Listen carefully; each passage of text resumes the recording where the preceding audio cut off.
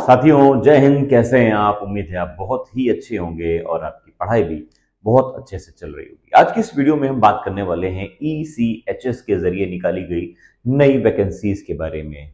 ये वैकेंसीज किसके लिए हैं? ये वैकेंसीज कितनी हैं? और ये इन वैकेंसीज की एजुकेशनल क्वालिफिकेशन क्या क्या है? और ई होता क्या है? ये किनको जॉब देता है? कौन लोग इसमें एप्लीकेशन लगा सकते हैं? सभी चीज़ों पर हम लोग बात करने वाले हैं। वीडियो बहुत ही ज़्यादा इंटरेस्टिंग है क्योंकि ईसीएचएस की यही वैकेंसी नहीं है सिर्फ़ खाली क्योंकि इसके अंदर आते हैं बहुत सारे फॉर्म उन सभी में वैकेंसीज आती रहती हैं। तो अगर आज ये वीडियो अगर आप देखते हैं तो इससे रिलेटेड जितनी भी वैकेंसीज होंगी, मैं आपकी अपडेट इस पर डालता रहूँगा और आपको भी जानकारी मिल सकती है, आप खुद भी उसके सर्च कर सकते हैं, ठीक है? चलिए आइए शुरू कर लेते हैं ये वीडियो जो कि बहुत ही होने वाला है इंपॉर्टेंट वीडियो शुरू करने से पहले एक रिक्वेस्ट अगर आप हमारे चैनल में पहली बार विज़िट कर रहे हैं तो वीडियो को करिए लाइक और हाँ अगर पसंद आए तो चैनल को सब्सक्राइब और शेयर करना ना भूलिएगा। ठीक है? तो सबसे पहले आपके अंदर एक क्वेश्चन होता होगा कि ये जॉब क्या है? आइए उसकी बात कर लेते हैं सीधे सीधे पहले से देखिए ईसीएचएस न्यू वैकेंसी 2024 जो कि मैंने आपको बोर्ड पर लिख करके लिखा हुआ है। अब इसका फुल फॉर्म क्या है, वो भी मैंने लिखा हुआ है। Ex serviceman contributory health scheme होती है। इसका फुल फॉर्म क्या है? Ex serviceman contributory health scheme होती है। ये एक स्कीम का प्रोजेक्ट है। इसके अंतर्गत जो डिपेंडर्स uh, होते हैं उनको लिया जाता है। फॉर एग्ज़ाम्पल कि आ, कहीं मैंने जॉब की हुई है आ, सेवा दी हुई है अपनी और उसके बाद अगर मैं रिटायर हुआ हूँ तो मुझ मैं जिस पर डिपेंड हूँ तो वो भी आगे बढ़ पाए और मुझे ख्याल कर पाए तो उस स्कीम के, ऐसी स्कीम के तहत इस तरह की स्कीम काम करती है। ठीक है? तो मैं सबसे पहले आपको बताऊँगा कि ईसीएचएस क्या है, उसके बाद इसमें कितनी वैकेंसीज हैं, क्या डिटेल है, जल्दी बात कर लेता हूँ। ठीक है? अभी क्या करेंगे आप सबटाइटल लगा दीजिएगा ताकि मैं अपनी चीज़ आपको पढ़ अपने टैब से पढ़कर आपको बता रहा हूँ, और उसके बाद आप सबटाइटल लगा लेंगे तो आपको खुद दिखाई देगा क्या है। ठीक है?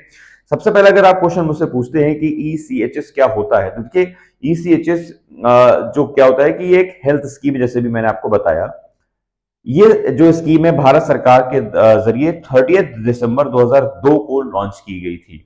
इसमें पेंशन धारक और उनके जो डिपेंडर्स होते हैं, आश्रित रहते हैं, उनके एक मेडिकल स्कीम होती है। इस स्कीम के अधीन पूरे भारत वर्ष में चार सौ सत्ताईस पॉलिक्लिनिक्स हैं। ये अंडरलाइन करने वाली बात है, चार 427 पॉलिक्लिनिक्स हैं। इसका मतलब चार 427 पॉलिक्लिनिक होने की वजह से आप यहाँ पर कहीं पर भी इस स्कीम का फ़ायदा उठा सकते हैं। एक्स सर्विसमैन को मेडिकल सुविधा यहाँ पर मिलती है। ठीक है? ये बात समझ में आ गई आपको? अब दूसरा क्वेश्चन ये है कि इसमें आवेदन कैसे करें? तो आवेदन करने का इसमें बहुत अलग अलग प्रोसीजर है और जिसको मैं अगले वीडियो में आपसे डिस्कस करने वाला हूँ। यहाँ पर एक चीज़ मैं आपको यहाँ पर समझाने जा रहा हूँ कि ये जो स्कीम होती है ईसीएचएस है ना तो इसमें अलग अलग जितने भी इंडिया भर में जितने भी इसकी फर्म्स हैं, उसमें जॉब्स भी आती रहती है साथी हाँ दो तरह की जॉब्स हैं।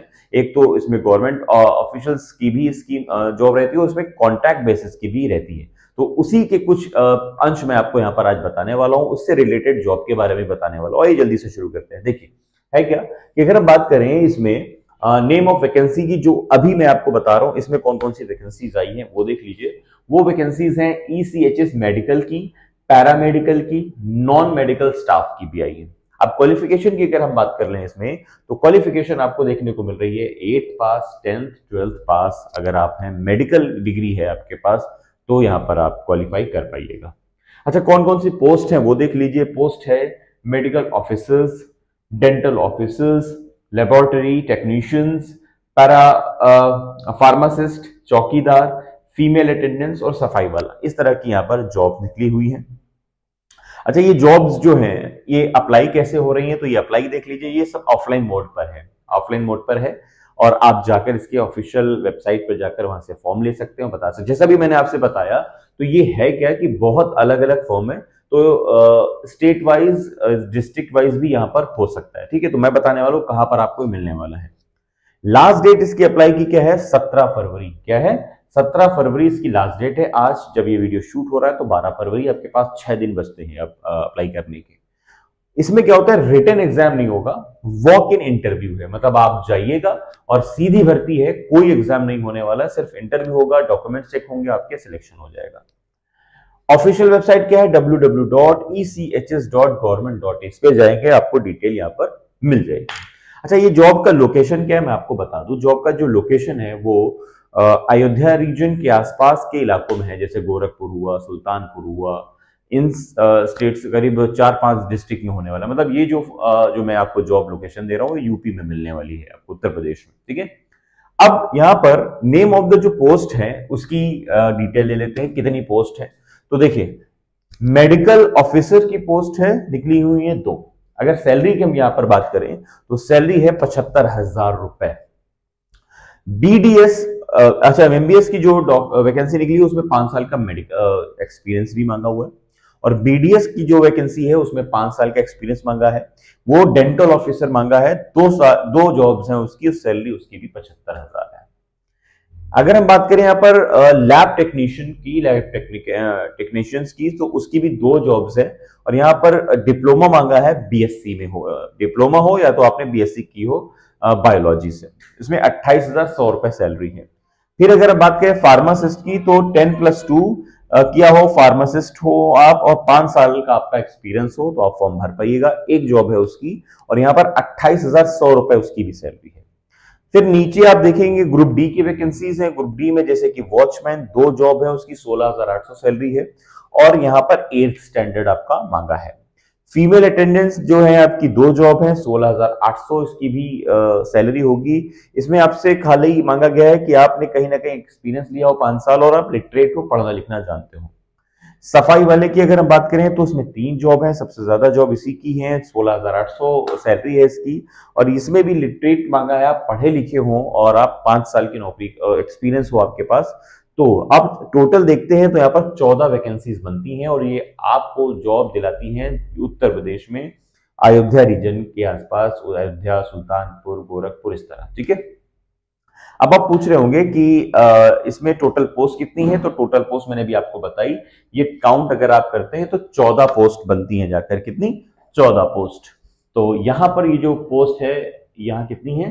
चौदह पोस्ट इस तरह आपने देखा फोर्टीन पोस्ट बन रही है यहाँ पर जाकर। ये फोर्टीन पोस्ट कोई कम नहीं है। आपको एक चाहिए, इसमें कोई एग्ज़ाम भी नहीं होना।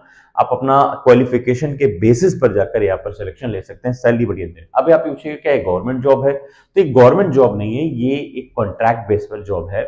इसमें कॉन्ट्रैक्ट बेस साल दर साल होता है। फ़िलहाल शायद एक साल का है या दो साल का भी है तो आप उसको फॉर्म को जब भरेंगे तो वहाँ डिटेल आ जाएगी। मिनिमम एक साल का तो होता ही है।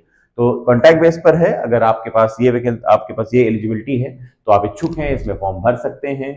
और वही बात ईसीएचएस e की और भी रीजन की, उसमें और भी वैकेंसी जैसे ही आती हैं, उसका मैं आपको वीडियो बनाकर ज़रूर दूँगा। तो आज की इस वीडियो में बस इतना ही। किसी भी तरह की कोई क्वेरी हो डाउट हो तो आप कॉमेंट बॉक्स में अपना कमेंट छोड़ सकते हैं, मैं उसका जवाब ज़रूर दूँगा।